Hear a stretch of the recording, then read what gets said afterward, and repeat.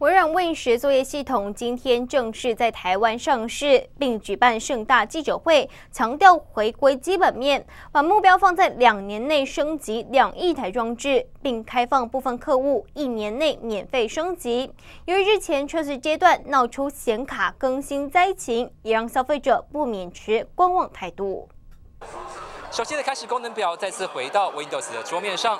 微软 Windows 十呢正式发布上市，而为了抢占市场占有率，也开放包括 Windows 七以及 Windows 八点一的用户一年之内免费下载。着重电脑与行动装置整合，Win 十仿造 Android iOS 作业系统，推出侧边功能显示页，动态资讯一览无遗。使用生物辨识系统，号称三秒钟就能迅速登入。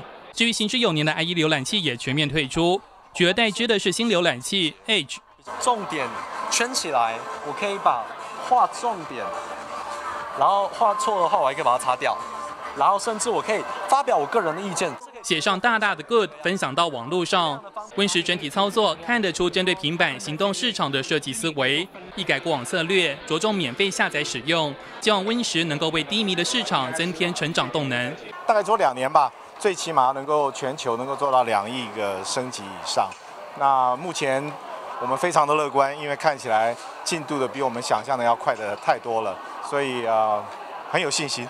直观来讲，就是他想要冲量嘛，就是说我在上市的呃初期，他要拼那个旧系统到新系统的一个转换率的一个比例，所以他开放这个免费免费去安装的话，它可以比较呃快的去成长这个人数。能否带动换机潮还需观察。不过新品上市，负面杂音也不少。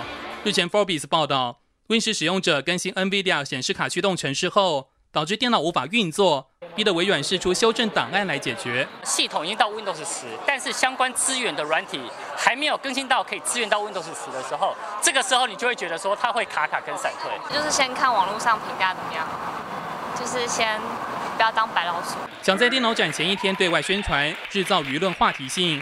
Win 十新功能亮点不少，但达人们还是提醒消费者可以等一个月后确定都没 bug 了再做升级。新航亚太电视高建伦沈维彤，台湾台北报道。